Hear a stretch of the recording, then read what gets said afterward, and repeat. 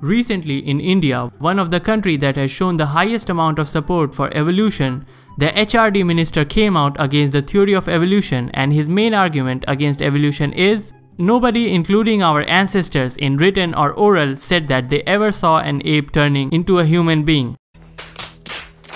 This is what happens when you confuse biological evolution with Pokemon evolution. Even though scientific consensus is clear on evolution and scientific community accepts it as a fact, there still seems to be some controversy around it among few people. And we were evolved from monkeys, why we still got monkeys?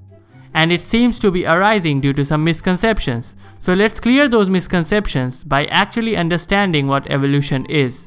Welcome to nature's 3-step program which can convert a stupid animal walking on 4 limbs to a stupid animal walking on 2 limbs who thinks that he is not stupid. In just few million years. Anything can be part of this program if it follows these 3 steps. Copying, errors or variation in copying, selection.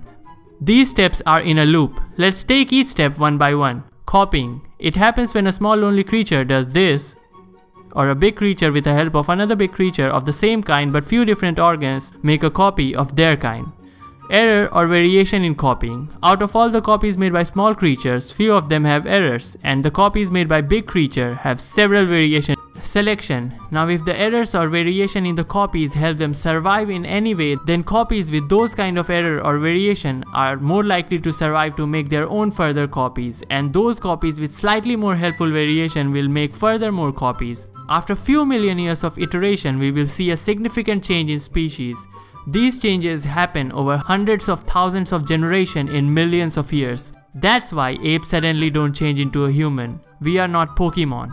Also more than one kind of variation can help in survival of a species. For example, to protect yourself from a predator, a variation that can run faster will be helpful at the same time the variation that can hide better will also be helpful.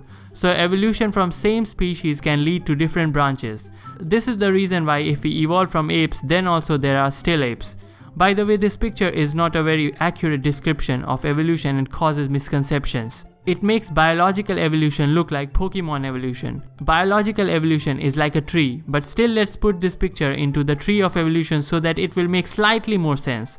We had a common ancestor. Some of them went on to become human. Some of them went on to become chimpanzee. Some of them became bonobos each with their own ways of survival and each successful in surviving in their environment. Evolution follows this algorithm and is not a random process. That's why you don't see a duck evolving into a potato for no reason. Along with all the tons of evidence to support evolution, the process itself is also quite obvious.